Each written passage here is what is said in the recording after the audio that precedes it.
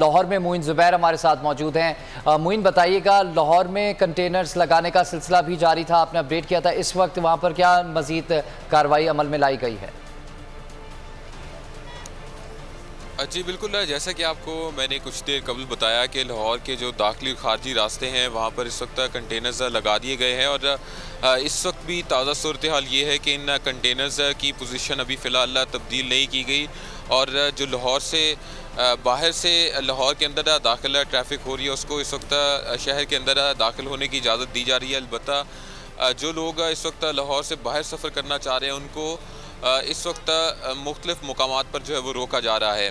जैसे ही कुछ देर बाद जो है ये कंटेनर्स जो है, मुकम्मल तौर पर इन दाखिली और ख़ारजी रास्तों पर लगा दिए जाएँगे और ये रास्ते जो हैं वो मुकम्मल तौर पर सील कर दिए जाएँगे। जिसके बाद ना सिर्फ़ लाहौर से बाहर बल्कि लाहौर के अंदर भी ट्रैफ़िक को आने की इजाज़त नहीं दी जाएगी। फ़िलहाल पुलिस एहलकार इस वक्त शहर के दाखिल और ख़ारजी रास्तों पर मौजूद हैं और जो ट्रैफ़िक इस वक्त लाहौर से बाहर जाना चाह रही है, उसे इस वक्त रोका जा रहा है। शेरा कोट बाईपास के मनाजर आपको इस वक्त कैमरा मैन इमरान मुख्तार दिखा सकें।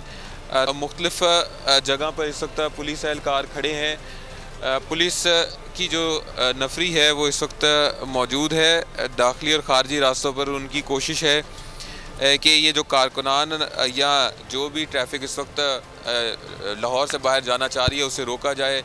पुलिस एहलकारों ने अपनी पोजीशनें ले रखी हैं और कोशिश यही की जा रही है कि जो अहकाम इन पुलिस अफसरान को या पुलिस एहलकारों को मिले हैं उनको मुकम्मल तौर पर अमर अमल दरामद उन पर किया जाए और वर्कर्स की भी कोशिश होगी कि अपनी पार्टी के अहकाम पर अमल करते हुए इमरान खान के अहकाम पर अमल करते हुए हकीकी आज़ादी मार्च के सिलसिले में आज लाहौर से इस्लामाबाद हर सूरत जो है वो पहुँचा जा सके। सब्सक्राइब करें और बेल दबाएँ ताकि कोई खबर रह न जाए।